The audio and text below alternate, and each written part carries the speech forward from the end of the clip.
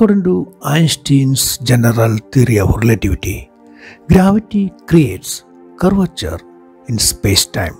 Every massive body generates distortions in its surrounding time and space.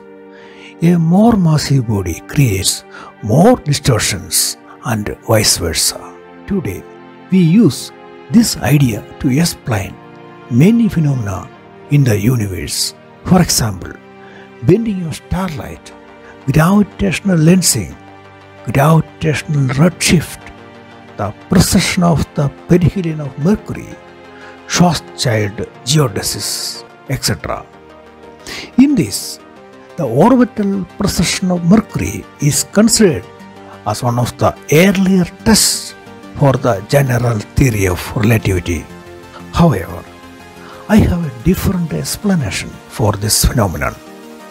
In one of the last videos, we saw that ether or a space filling substance is real and can be experimentally verified.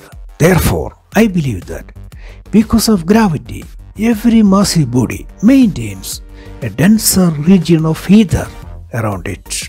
Ether density will be more near a body and it decreases with increasing distance from the body.